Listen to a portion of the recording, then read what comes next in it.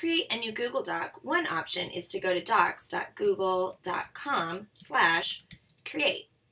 And you'll notice what happens is that when you create a Google Doc, by default, it's going to be private. So look over here at the blue share button and you notice that sharing settings are private.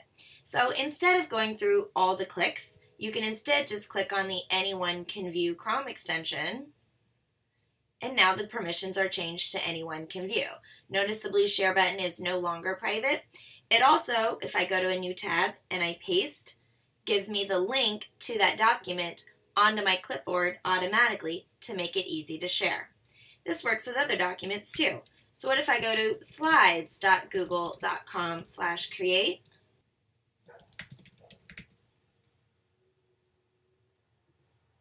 and notice that the sharing permissions are private and I just click on the Chrome extension and now the sharing permissions are anyone with the link can view.